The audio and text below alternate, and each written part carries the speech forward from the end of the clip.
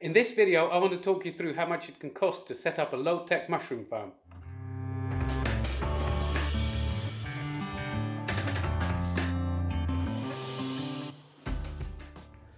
Hey there and welcome to this video. So there's a lot of change happening at the farm um, at the moment. We're trying to increase a lot of our production capacity and we're making um, lots of changes so there's a lot going on at the farm.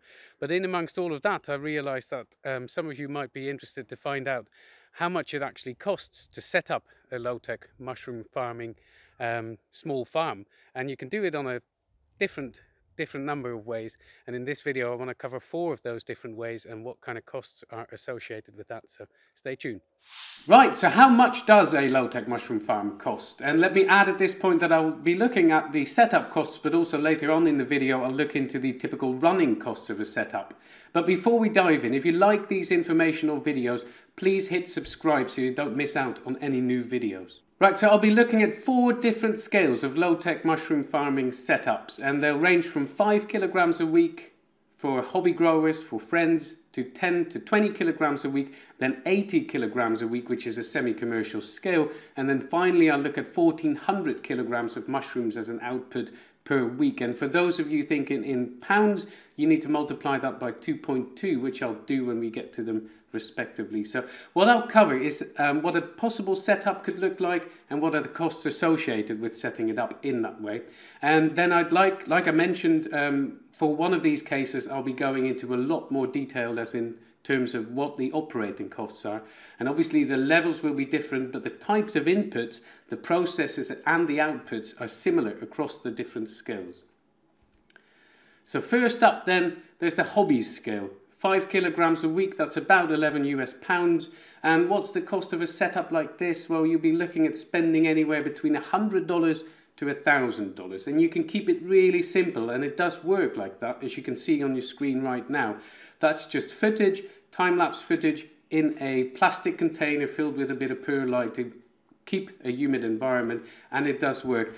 Other examples you could think of is a four-tier greenhouse, or a very small hydroponics tent, both of which are readily available and you can modify um, them to grow mushrooms into. And of course, don't forget that you can also grow outside in a mushroom bed, or you can have a dedicated area simply done with shade netting, for instance. And in this way, you can feed your friends or your family, have a lot of fun growing mushrooms in a very easy, simple, and not very expensive way. So once the mushroom bug has bitten, and we hear this a lot from people that they really get into it, want to grow more, what you can consider is growing on a small scale. What I mean by that is around 10 to 20 kilograms per week, which is um, between 22 pounds and 44 pounds or so. And a typical cost up uh, cost of a setup like this is anywhere between 2,000 and 5,000 dollars. It's normally done in a space that you already have. So within reason, most spaces can be converted. So if you have a garage, a barn, or a basement, chances are that you can use this to grow mushrooms in. One very easy way in this kind of scenario would be to grow in a hydroponics tent. And you can see that here we've set one up. It's a really simple way to create an isolated really easy easy to control separate environment from the room you build it in. So it's got some great advantages in that you can create this humid environment. It's got existing portholes so you can pump fresh air into it take CO2 laden air out of it. So it's a really simple way to create a lovely fruiting room where you are so the next scale I wanted to touch on is the semi-commercial scale and this is the one that I'll dive into a lot more detail on later on in this video.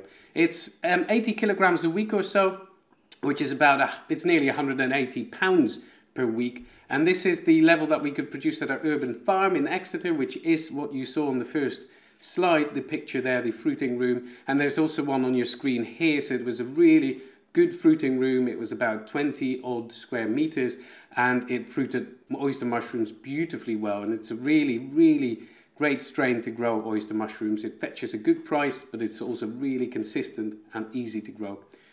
Um, so this is a range that we'll be looking, like I said, looking at this um, later on. We're also currently trying to set our farm up to reach this kind of output again.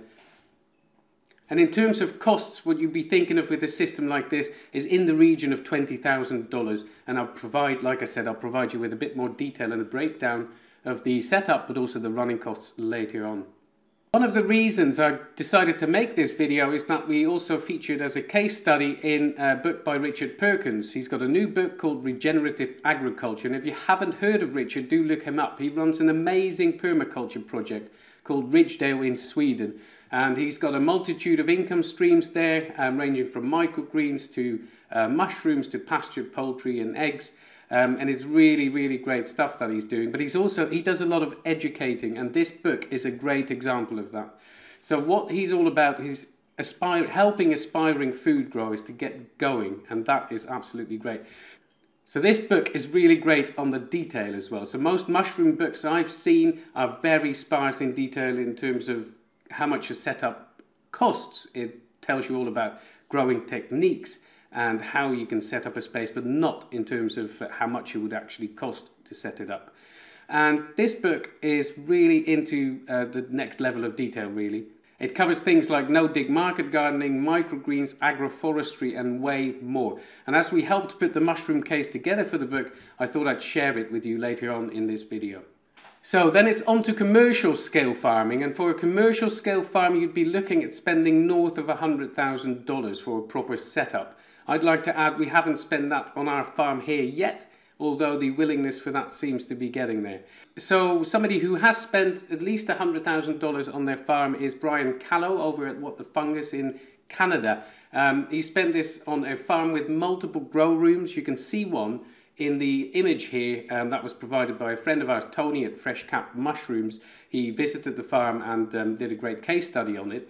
Um, the grow rooms are basically car shelter tents converted into fruiting rooms. So he's got five on the go at the moment, I think, and produces about 400 pounds or 200 kilograms per week. And he supplies that to about 45 restaurants seasonally. This farm isn't as low tech as we like to advise people to set up. And what that often leads to is a bottleneck in the sense that sterilization takes a lot of time energy and physical labour to process the huge number of spawn and fruiting blocks. But like I said, he supplies 45 restaurants seasonally. That's really great because it's all local food and he's based in a popular tourist area, so I'm sure that they appreciate all of these locally freshly produced mushrooms. You don't need to grow at that scale, of course, you can grow much, much bigger. Um, next scale I want to look at is a commercial scale of 1400 kilograms per week. This is a little over £3,000 per week, and that's quite a substantial output. These numbers are not quite as random as you might suspect.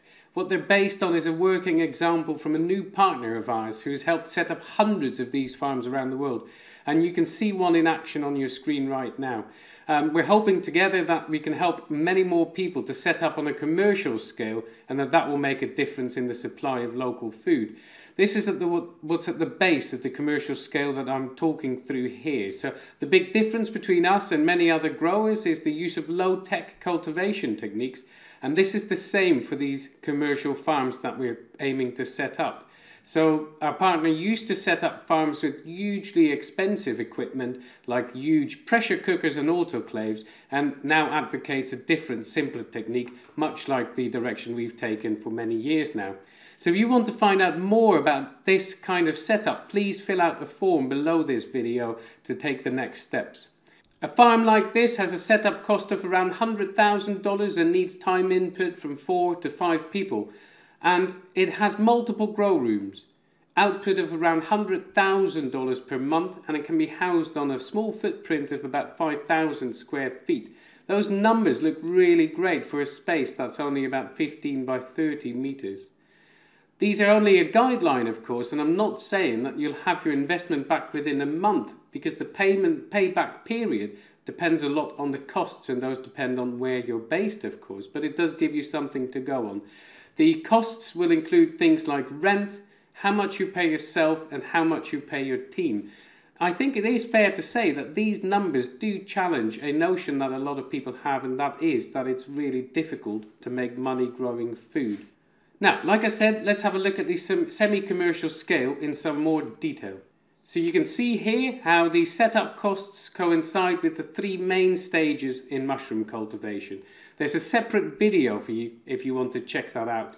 Richard based the cost of these structures for these stages on three work cabins that were stripped and repurposed for the mushroom farm.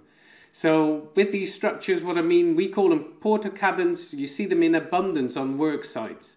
These should cost you in the region of nine to ten thousand dollars. And then for the third, the first stage, you would need to add hardware, as you can see on the slide there. So you would need a fridge, workbenches, substrate mixer, and scale. The first stage, by the way, is the utility mixing and inoculation, of course. And all of this, it might require an IBC as well, but this would likely come to the tune of about $4,000.